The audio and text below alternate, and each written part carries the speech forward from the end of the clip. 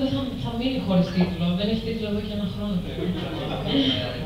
Μια ιδέα να είναι πρόεδρο της πάντων. Αυτό το τραγουδάκι μου αρέσει να το λέω γιατί είναι, τέλος πάντων, βγήκε μια πολύ ευτυχισμένη μέρα που ήμουνα στο, σε ένα σπίτι που έχουμε εδώ, σε ένα ψυχικό, σε ένα βουνό. Είχα την, ε, την τύχη να μείνω για 10 μέρες πέρσι εκεί, πολύ σπάνιο πράγμα αυτό το χειμώνα. Και ήμουν έτσι πολύ ευτυχισμένη μια μέρα. Και αυτό το τραγουδάκι βγήκε και την μέρα.